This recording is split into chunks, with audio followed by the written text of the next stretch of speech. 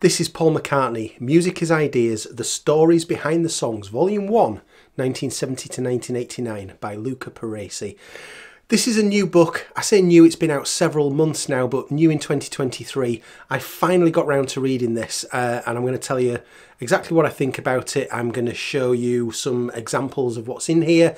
I'm going to show you how it sits on your shelves alongside other books. And I'm going to tell you how this might differ from other books that you have on Paul McCartney. A little bit of information about the author, Luca, if you're not familiar with him. So Luca wrote the Paul McCartney recording sessions 1969 to 2013 book, which was quoted in the Paul McCartney archive collection for Wildlife in the deluxe book. Luca's also worked directly for MPL in the last couple of years on a couple of projects. He did the Italian translation for the Paul McCartney lyrics book and also, Luca helped directly with MPL with additional research for the Paul McCartney 7 inch singles box last year. So he's got a great pedigree of working actually officially with Paul McCartney's team. So, what does this book cover? And, and just as importantly, what doesn't it cover? Uh, just so that you know exactly what you would be getting with this. So, this is a reference book, and it quite clearly advertises itself as a reference book here um, rather than a, a biography type book. I think it's important to compare this to the McCartney Legacy book that also came out around the, the, the beginning of 2023 because they each do serve a, diff a different purpose. Whereas this book is very much a biography of Paul McCartney and his life and, and sort of everything that was going on at the time. This book focuses on the recording sessions mainly. There's a bit of background about what's going on to um, to lead up to the album, which I'll, I'll, talk a little bit more about. But essentially, this focuses on what's happening in the in the studio. So I, I think a good comparison, if you're wondering what the difference between the two might be, uh, if you to compare to Mark Lewisohn, McCartney Legacy is sort of the, the version of the Beatles Tune In, uh, but McCartney related. And this new book by Luca is probably more closely aligned to Mark Lewisohn's complete recording sessions and, and, and Chronicles, certainly the studio side of the Chronicles books. Uh, that, that's just to give you an idea of, sort of where each one is, is coming at. So, this book uh, like I say, it covers 1970, so it covers the, the sessions for the McCartney album right through to the end of 1989. There's an extended intro in this book. Uh, before I get to that, actually, I'll just show you this. My copy is signed by Luca. I would like to thank Luca who sent me this book. I very much appreciate it.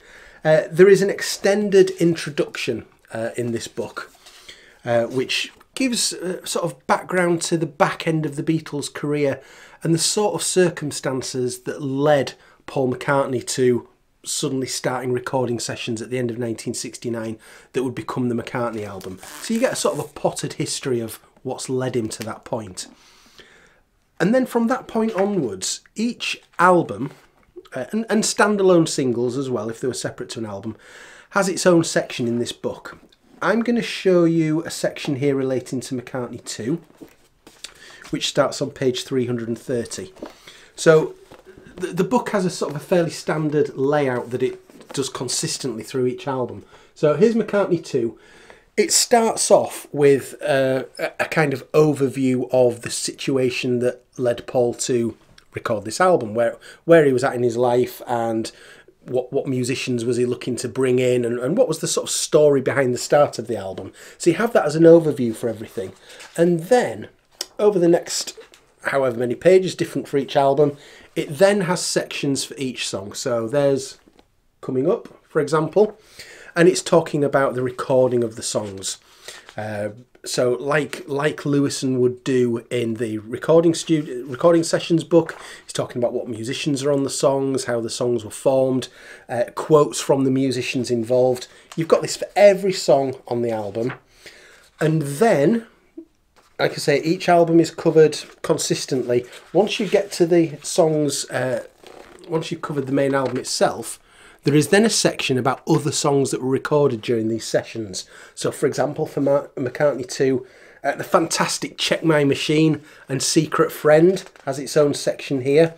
Uh, and it's got the, the songs that we know from the um, McCartney 2 archive edition, like Bogey Wobble, Mr. H. Atom, uh, You Know I'll Get You Baby, All You Horse Riders, Blue Sway.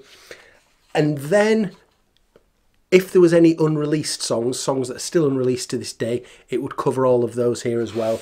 And then it gives a, a, section where it will talk about the reaction to the album. How did it fare in the charts?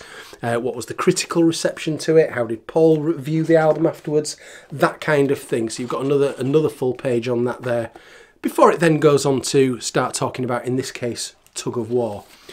So it's very comprehensive on each album. So because this covers unreleased songs as well, you will also find in here details of, for example, the Rupert album that Paul recorded in the 1970s. There's even sections for things like the, the MPL Juggler theme that you see on Paul McCartney DVDs and, and videos. It's all covered in this book.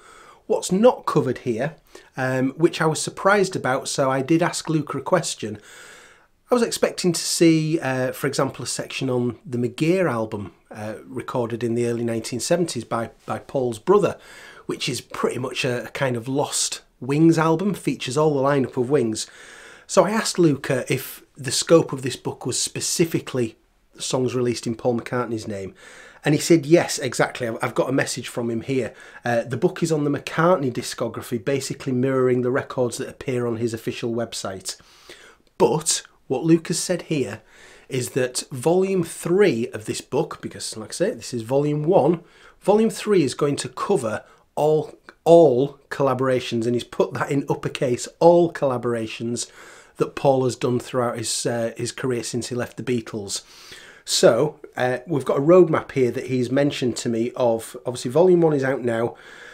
Volume 2, which is going to cover 1990 up to now, is planned for 2024 and 2025 Volume 3, which will cover all collaborations and appearances on other people's albums. So this is going to be a really comprehensive set over the next couple of years by the time it's finished. This book covers up to the end of 1989. So you can see, for example, towards the back end here, we're in the flowers in the dirt section.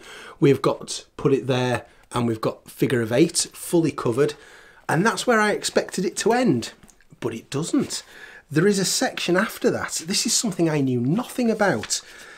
For a project that Paul did just, just because he wanted to at the very end of 1989, a project called uh, Daumier's Law, Daumier, I've probably mangled the pronunciation of that. I knew nothing about this. This was recorded just before Christmas of 1989 and it's a, it's a six act suite which was then turned into a, a short animated film in the early 1990s. Um, I, I, was particularly interested in this because he recorded this just a couple of weeks before I first saw him in concert in Birmingham in January 1990. Uh, so I, I, looked it up, and Daumier's Law, it's a six track instrumental piece like I say, for a short animated film, uh, which was nominated for a Palme d'Or Award, nominated for the Chicago International Film Festival, uh, and it won a BAFTA in 1993 for Best Short Animated Film. Somehow it had completely passed me by, but the level of detail in this book means it's going into that as well. So I found that really interesting. In terms of my enjoyment of this book, I certainly really enjoyed reading it. I often find it difficult to spend a long time sat reading what is, by its own admission, a reference book. Uh, whereas a, a, biography, I could maybe sit there for two or three hours and, and just go through it. I, personally, you may well be different. I find it difficult to do that with a reference book.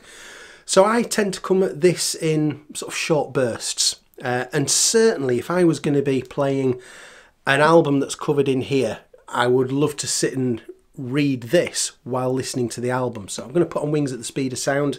I'm going to go to the section here and read about the songs while I'm listening to it. That's just personally how I tend to prefer reference books. So I think this is a book that I will keep going back to and I'll keep dipping into rather than sitting for hours on end and reading it. But yeah, that's just my personal preference. Here's an idea of how it sits on your shelves, just if you're wondering if you've got shelf space. So you can see it's a little bit taller than, for example, the McCartney Lyrics book, quite a bit taller than the Mark Lewisohn Tune In and McCartney Legacy books.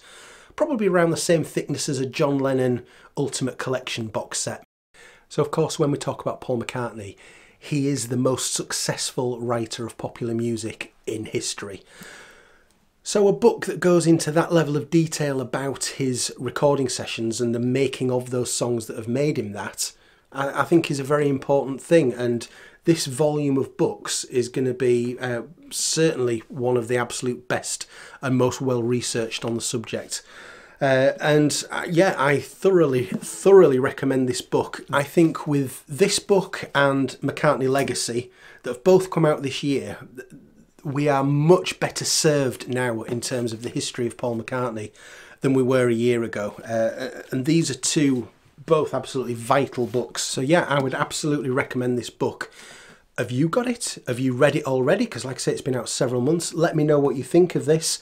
Uh, but I'm just going to keep going back to this book when I'm listening to those Paul McCartney albums and uh, just just taking the the sessions as I'm reading it. So thank you very much, and uh, it's now time for me to go and start reading this one, all about Mal Evans. I'll be back with a review on that at some point fairly soon. Cheers. I'll see you later. Bye.